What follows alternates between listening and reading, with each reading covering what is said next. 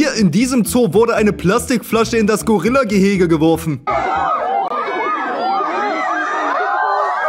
Yo, der Bre hat sich mal kurz gedacht, ich f diese Zoobesucher.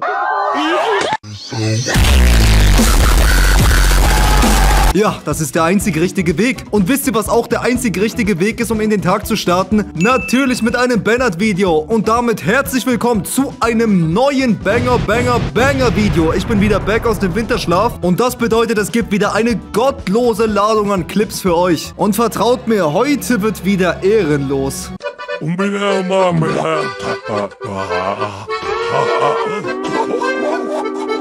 Okay, das beginnt schon so unglaublich random. Also irgendwie habe ich das Gefühl, dass er sich da extra anstrengt, damit er nicht selber in der Pfanne landet. Also wer auch immer für dieses Setup hier verantwortlich ist, der ist absolut krank im Kopf, Mann. Obwohl, nein, nein, was laber ich? Lil Bro hat bestimmt selber den Pfannenwender in die Hand genommen und sich gedacht, yep, let him cook. Und apropos let him cook. Also ich habe keine Ahnung, was der Typ hier kochen wollte.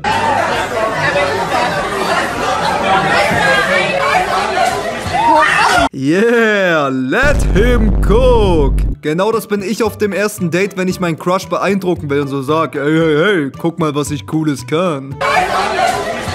Der hat echt hardcore reingesteckt, Mann. Das ist, glaube ich, echt richtig unangenehm. Auch dieser ganze Saft ist überall hingespritzt. Bei jedem ins Gesicht, auf die Teller, an die Wand. Bah! Und ich habe hier gleich noch jemanden gefunden, der unbedingt die Ladies beeindrucken wollte. Eigentlich ist er nur ein normaler Kellner, aber für die Ladies auf der Strandliege macht er eine dicke, dicke Show.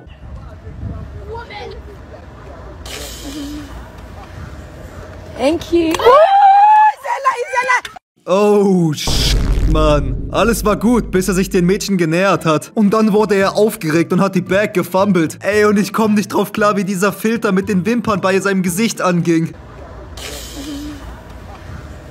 Thank you. Oh my god, bro. Hell no, Ey, warum, Mann? Warum? Ist es nicht schon Blamage genug, dass es ihn voll auf die Fresse haut? Und dann hat er noch diesen Goofy A-Filter drauf. Oh Mann, der Arme. Der wollte so eine coole Einlage machen mit seinen Inline-Skatern da, aber ja, leider war das wohl nix. Wait, bro, you need a fluffer?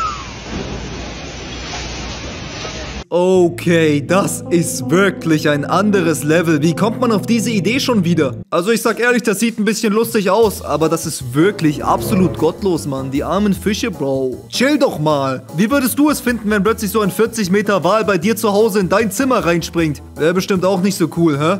Wait, bro, you need a fluffer? That's so messed up, bro. Like, do you even care about the fish that live? Ja, true, true, true. Endlich sagt es mal jemand. Nachdem ich ihn hier gesehen habe, wie er da reinspringt, habe ich kurz die Hoffnung an die Welt verloren. Aber zum Glück gibt es auch noch gute Leute, so wie ihn auf der Welt, die sagen, dass so etwas nicht geht. Und die eine Ansage machen, damit so etwas nie wieder passiert. That's so messed up, bro. Like, do you even care about the fish that live?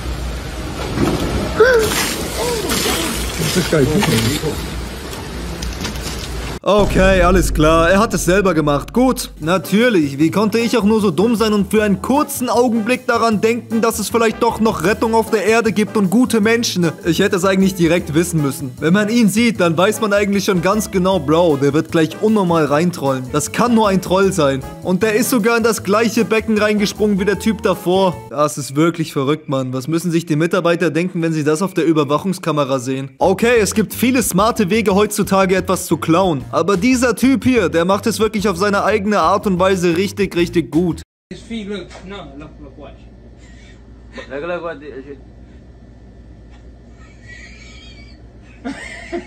Nein, nein, nein, nein, nein, das ist nicht sein Ernst, oder? Er nutzt die Katze aus, dass er einfach mit seinem Zeug rausrennen kann. Come on!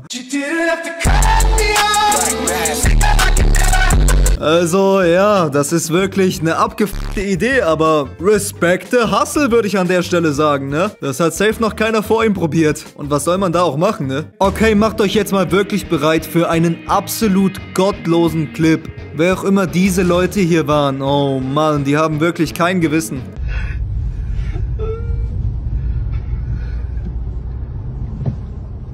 No.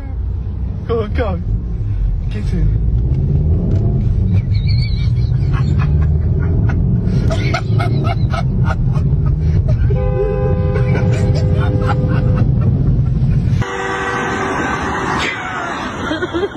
Ach heilige Scheiße. Also eigentlich finde ich das so ein bisschen lustig. Aber ich habe mir gerade vorgestellt, wenn ich das wäre. Stellt euch mal vor, ihr wollt so ganz entspannt draußen rumlaufen. Ihr kommt gerade vielleicht von der Schule oder von der Arbeit. Seid schon richtig abgefuckt. War schon ein richtiger Scheißtag, Mann. Und dann lauft ihr da lang und denkt eigentlich, euer Tag kann nicht schlimmer werden. Und dann kommt diese in dem Auto vorbei.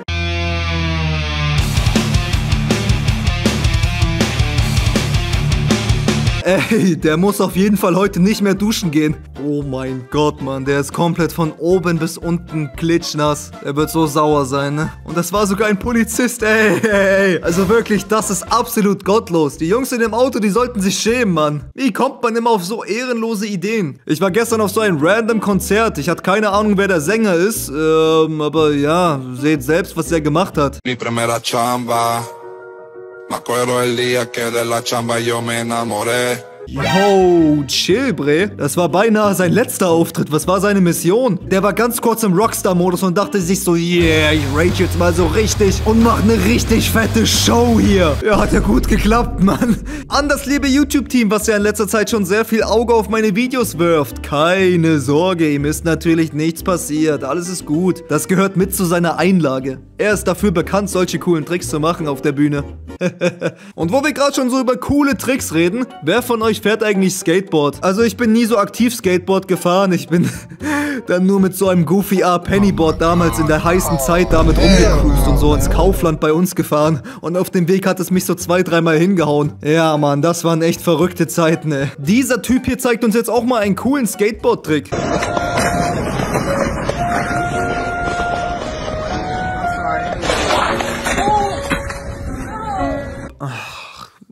Wieso, wieso, wieso, wieso? Also das war 100% der Frau ihre Schuld. Hat sie keine Augen im Kopf? Also, jetzt mal for real. Hat die keine Augen im Kopf? Kann die nicht dieses Skateboard vor sich sehen? Nee, nee, nee, das sieht man jetzt nicht, das Skateboard. Ne, wie soll man das auch sehen? Ich sag's euch so, wie es ist. Das ist so eine abgef...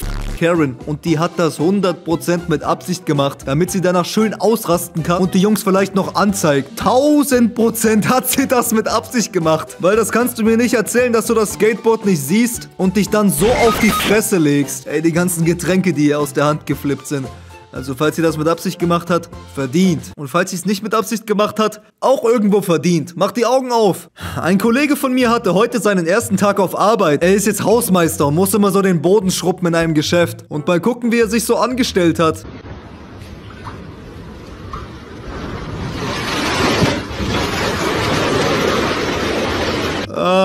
Ähm, naja, ich sag mal so, immerhin hat er sein Bestes gegeben. Also das ist richtig ekelhaft. Würde mir sowas an meinem ersten Tag passieren? Jo, ciao, ihr würdet mich nie wiedersehen. Haut rein. Vor allem, was versucht er da? Er kann es doch lassen. Hör auf, Bro, hör auf. Du kannst es lassen, es bringt sowieso nichts mehr. Du hast jetzt einmal versucht, das reicht. Why did he do that?